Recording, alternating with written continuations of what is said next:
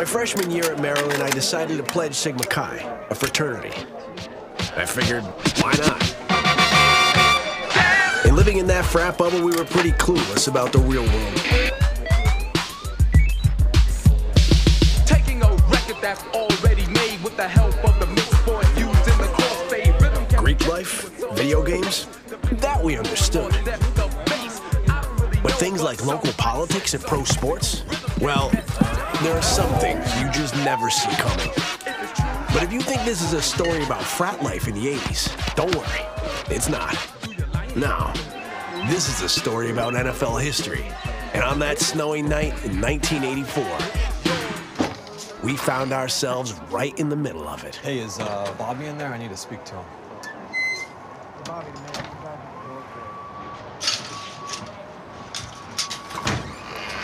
Hey, you work for Mayflower Transit? Yeah, part-time, why? I need you and your buddies to help me out So a little move? When?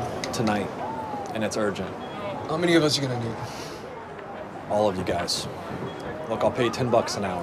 Guess it's not that urgent. There's a sorority next door if you wanna. Come on, come on, I'll, I'll pay you 20 bucks an hour. Yeah, I think we can make that work. Hey! Boys! We got a job. If you're confused at this point, imagine what we felt. So where are we going anyways? Don't ask any questions. I'd been working at Mayflower Moving for a couple of years, and trust me, things were run very professionally. Let's go, on the bus. But let's just say this job felt a little different.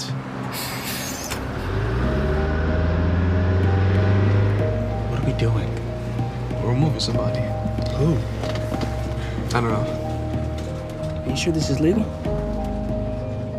To be honest, I didn't know what I had gotten us all into. Where are we going? What are we moving? We had no clue. But there we were, on a bus in the middle of the night. And there was no turning back.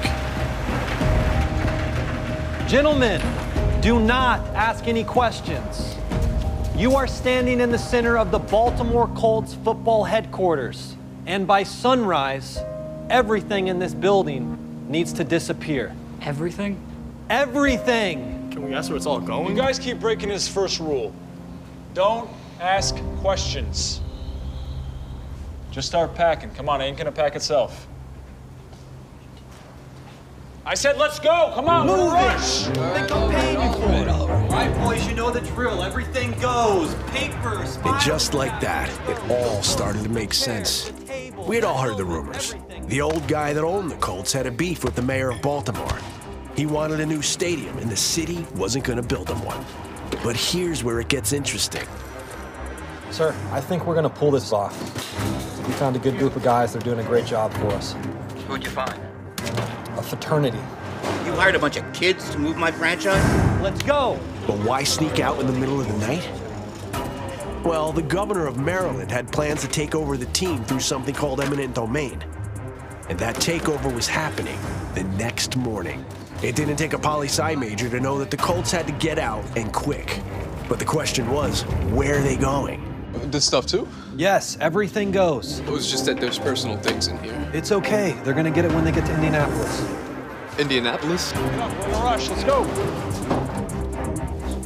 What's the problem? That too? Is it nailed down? I don't think so. Good. Pack it up. Come on, let's go. It was the craziest all nighter we had ever pulled. An entire team's legacy stuffed into 13 Mayflower moving trucks, headed to Indianapolis, never to return.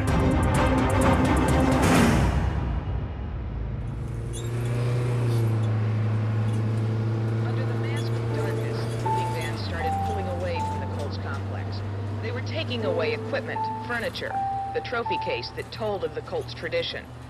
And they were bound for Indianapolis. The only thing left is a memory. When I pledged a frat, I mostly expected it would be what you see in the movies. And movies can be heartbreaking sometimes, you know? But it wasn't needed. The only reaction of the few die-hard fans who came to watch was sadness. Heartbroken's a good word. But did I ever think I could break the hearts of an entire city in one night? No. Thank you. Hey, what about all the Baltimore fans? You just gonna leave us like that? Let's go. When I answered the door that night, I could have never known I would find myself in the middle of one of the most infamous moments in NFL history. And sure, Baltimore eventually got itself a new team and a couple more championships.